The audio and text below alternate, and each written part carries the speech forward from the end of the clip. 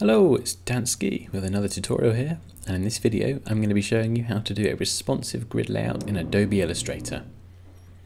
Okay, so let's get started. We're going to go up to File, New, make sure our units are in pixels and set the width to 1170 and I've set the height to the same but this can be as deep as you like.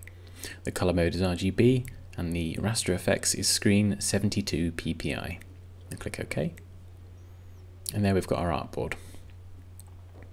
What we're going to do is we're going to click the rectangle tool. We're going to left click on the artboard and make a rectangle that's 70 by 70. So if you click OK, and we're just going to make sure that we've got no stroke or outline around the edge.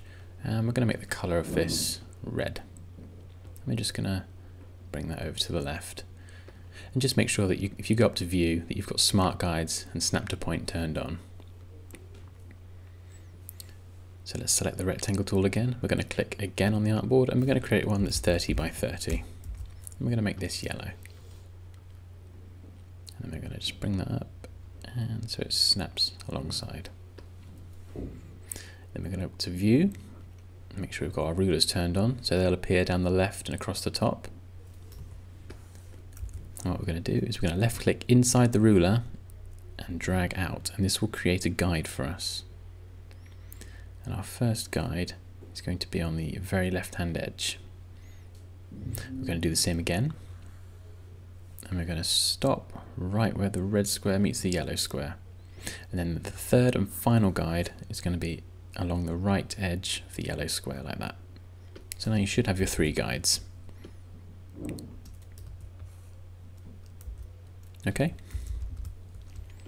And what we're going to go and do is go up to view, go down to guides, and just check that they're not locked. By default, Illustrator sometimes locks them, but with them unlocked, we can move them around freely and select them as we need to.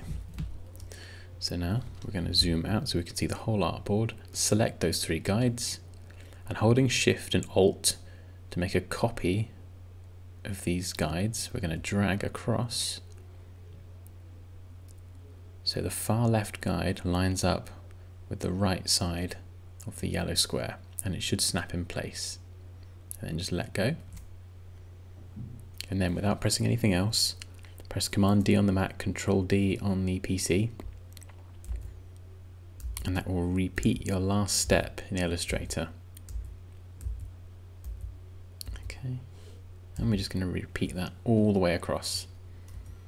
And if you've done it correctly, this line here, this guide, should line up with the right edge of your artboard. We can just get rid of this one on the end because we don't need that. And now we can go back and delete our shapes. Now they've served their purpose. And you should be left with something like this. And this is a 12 column grid that will help when designing a responsive website.